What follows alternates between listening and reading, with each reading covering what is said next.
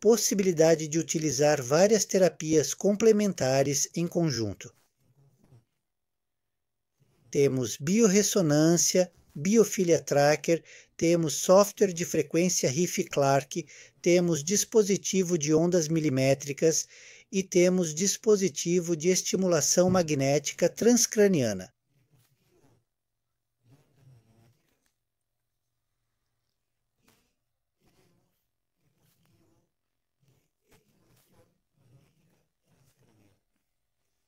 Quatro terapias diferentes: biorressonância, som com frequência Riff-Clark, ondas milimétricas e estimulação magnética transcraniana.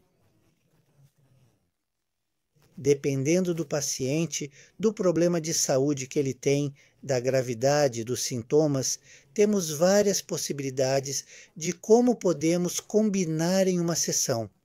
Em alguns casos, podemos aplicar duas terapias simultaneamente e, em outros casos, é melhor fazê-lo sucessivamente. Primeiro uma, depois a outra. Vou citar alguns exemplos. Por exemplo, se vamos usar estimulação magnética transcraniana, é melhor usar primeiro a biorressonância, porque através dela podemos estimular áreas profundas do cérebro e sair das redes neurais do cérebro de diferentes partes de veias, artérias, do tronco encefálico, de partes profundas do cérebro.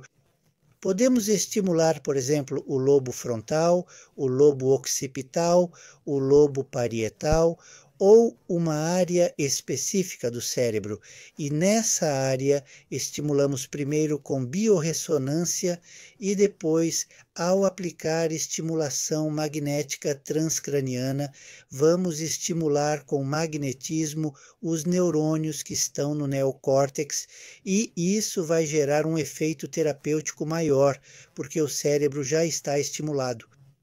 Então, a grande vantagem da estimulação magnética transcraniana é que pode estimular redes neurais.